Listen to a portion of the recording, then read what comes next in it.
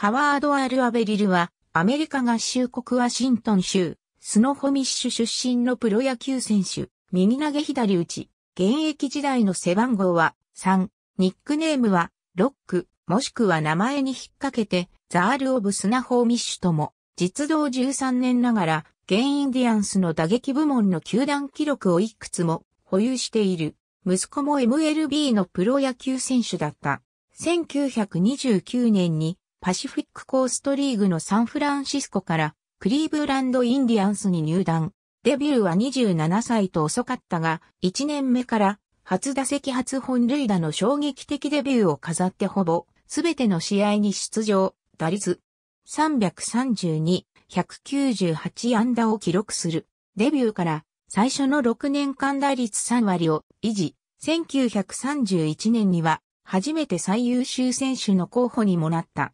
1933年、この年から始まったオールスターゲームに出場。第1回から6年続けて出場した外野手はアベリルのみである。1937年のオールスターゲームでは相手投手ディジー・ディーンの球を強烈なライナーで弾き返し、ディーンがつま先を骨折するというエピソードもある。また1934年には全米選抜チームの一員としてベーブ・ルースらと共に来日している。同年11月8日、北海道函館市で行われた全日本選抜チームとの対戦では、先発の青柴健一から満塁ホームランを放っている。1936年、アベリルは232安打、打率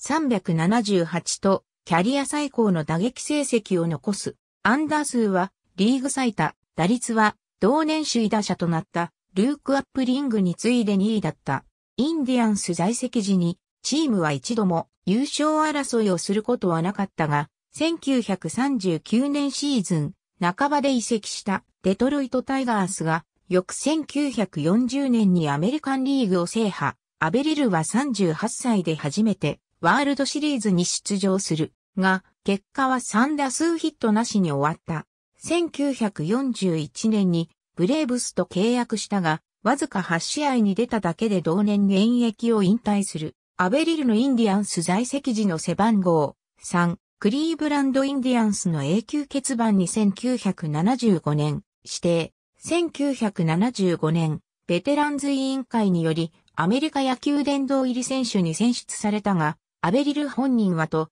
現役引退後語っていたという。実際に殿堂入りした1975年、アベリルは73歳の高齢だった。殿堂入りを記念し、フルスインディアンスは、アベリルの在籍時の背番号3を同年永久欠番に指定している。1983年ワシントン州にて死去。ありがとうございます。